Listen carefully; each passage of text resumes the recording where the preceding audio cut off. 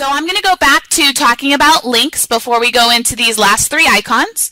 So if you notice, the links here are not highlighted. They are all inactive, all the link icons. If I am to highlight some text, my link icons become active.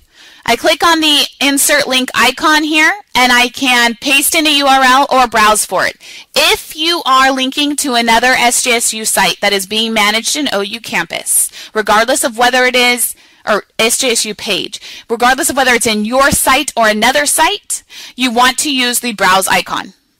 If it's an external site or something not being managed in OU campus, CNN or something else, um, somebody brought up the uh, Cal State you know, sometimes you'll link to the Cal State sites or something like that, then you can paste in the URL. But otherwise, you're going to use the browse. So we're going to click on browse. If it's a page within your site, you can simply just use the breadcrumb, go to the root, and travel around or within this page structure.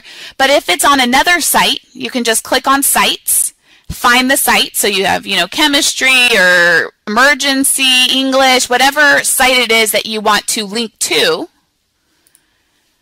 or page within that site, and then find the particular site that you want, or the page that you want rather, and then just click on that and click on select file and it will um, insert the path appropriately for that.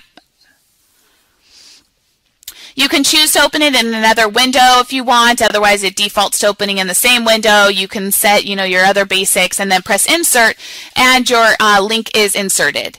To unlink, just click within that link and click on the unlink button.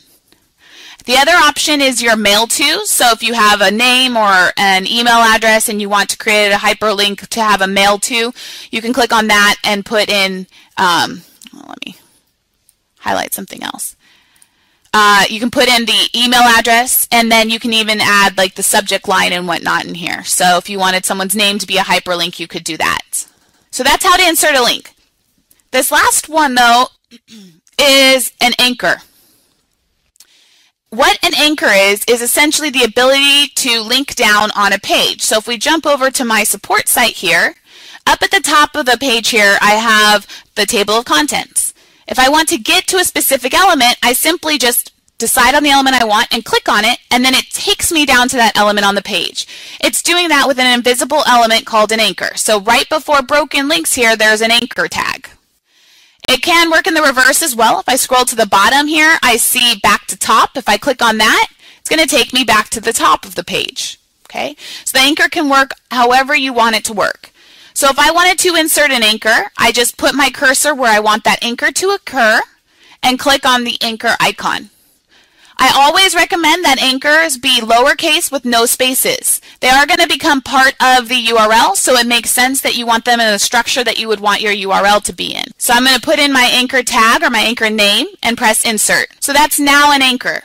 If at the top I wanted to be able to link down to that, let's say I want to make assets a link down to depending, I can highlight the text and go to insert link. Now that I have an anchor on the page, we're going to see a drop down here and I can select example your anchor is always pound and then the name of the anchor that you created or the tag that you created. So it's pretty easy there to create that anchor. So pound and that. If you created an anchor here in the middle and on your left column, the different editable region you wanted to link to that anchor, you would actually have to put in pound in the name because it won't show up in the drop down of the anchors tag, okay? Just so you guys are aware. So press insert and now if I were to click on this link, once I actually publish this page, it would link me down here. It's not going to work till I actually publish the page. So now that I have an anchor in here, what I'm seeing is this is kind of shifted, maybe looks a little funny if you have a bunch of anchors that can get a little confusing.